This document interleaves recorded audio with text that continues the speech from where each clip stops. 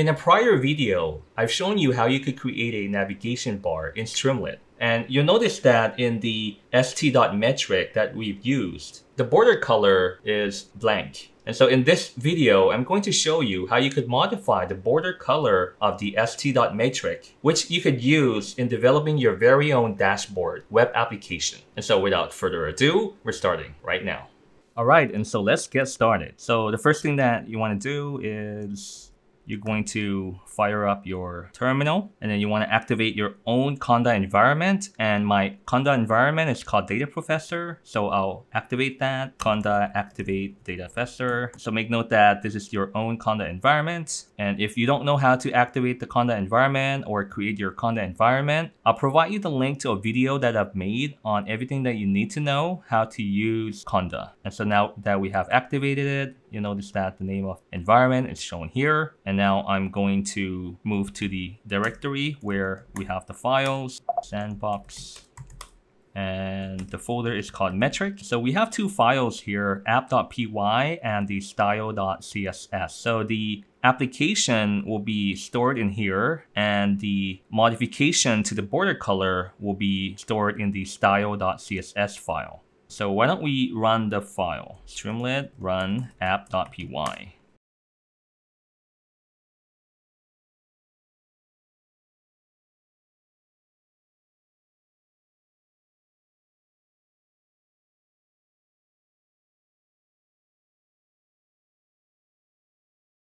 All right. And so you'll notice here that we've added the border color to be slightly dark gray, and then we added a light gray as the background color so that we'll be able to make the st.metric contrast the background color of white. So let me show you how it looks like before we added this customized CSS styling. So we'll have to use the VS Code here. So I'll move this left, left part, and then this will be the right tab. All right, so these are the CSS styling that we've made. So the background color here, we specify it to be light gray, and the border color, which is at the edge here, specified to be light gray. So let's see, if we added FFFF, which will be white, so that we'll see how it looks like before adding the color. Or even, why don't we just, just comment it. Okay, so we'll just comment it here and then we'll run it again. So I have to run it from within here. So run it here. I'll activate from here again, activate environment. Then let's see, where am I? PWD is for print working directory. So I'm in the current working directory. So I'll type in streamlit run app.app.y.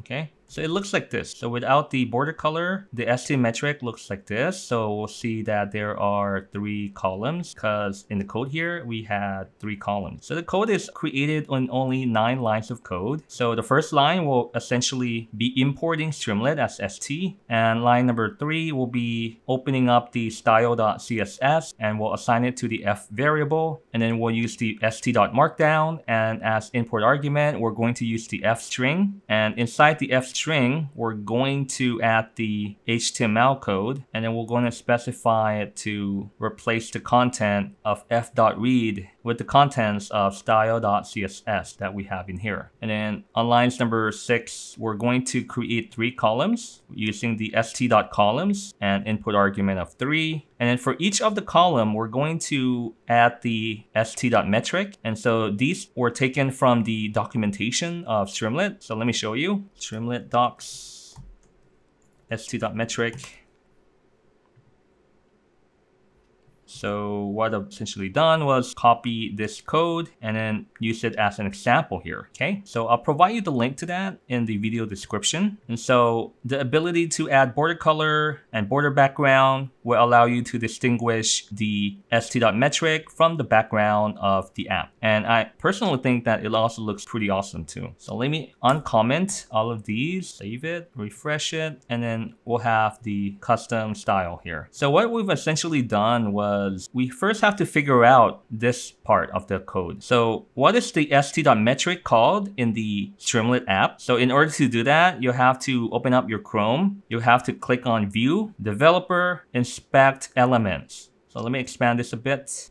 Okay, and so let's have a look at the elements here. So when we hover our mouse onto the st.metric column here, you're going to notice that there's going to be a pop-up which will tell us that this element is called div css-1r6slb0.e1tzin5v2. So we can see that the background color here is the light gray and you'll also be able to see other aspects dimensions of the particular element, the margin, padding, etc. And we'll notice that the other st.metric also has the same name. And so in order to modify the color, we'll have to specify the name of the elements. So we do it here. And we do it inside the style.css file. And then we have an opening and a closing braces and then we have the various attributes here. So what we wanted to do, let me close this. So what we wanted to do was modify the background color. So we specify it here background color to be light gray. We wanted to make the border color to be slightly darker gray. You could also make it black if you like, or any other color here. If I make it black, it looks like this. So I just want to make it a bit subtle, a bit darker, right? Or even here, how about this, dark gray? So you could go ahead and go to the HTML color codes, and then you'll be able to choose your favorite color. Let's say that we're gonna use this color, so we just paste it here, save it, refresh it, and then you have this reddish color, or you can make the back background to be light pink if you like. Find a light pink color here. And then we paste the color here, refresh it, and there you have it. You have your very own customized colors here. And the border here is the width of the border. Here I specify to be one. You can modify this to be other number as you see fit. So it looks a bit darker here as it's a bit thicker. And then the padding here are on the sides. I specify it to be 20 to 2070. I think I left it here. Oh, it's redundant. You could specify it to be in pixel or in percent if you like. So let me use percentage. Okay, it looks the same. And then the border border radius, I specify it to be 10 pixels. And what if it's zero? What happens? Have a look. So you notice that it becomes a square. So when the border radius is specified, we'll have rounded edges like that. So make it a little bit less. So it's 10. Save it. Okay. You can modify the color to your own liking. 5.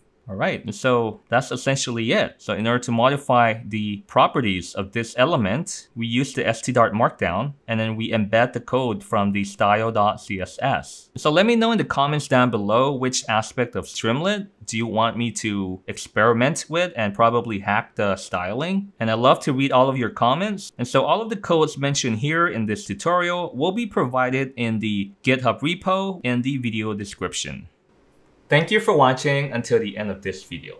If you made it this far, drop a fire emoji in the comments down below and smash the like button, subscribe if you haven't already, and also hit on the notification bell so that you'll be notified of the next video. And as always, the best way to learn data science is to do data science. And please enjoy the journey.